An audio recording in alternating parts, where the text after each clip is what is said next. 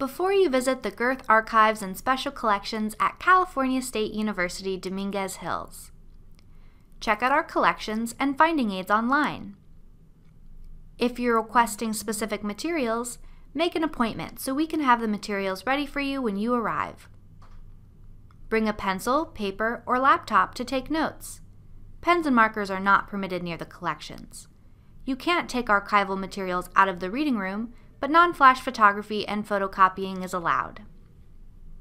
Leave food and drinks at the door. We want to keep our collections clean and dry for future use. Bring questions and curiosity.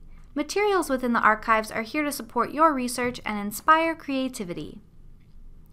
The Gerth Archives and Special Collections are located on the fifth floor of Library South. Visit us Monday through Friday from 9 a.m. to 4:30 p.m.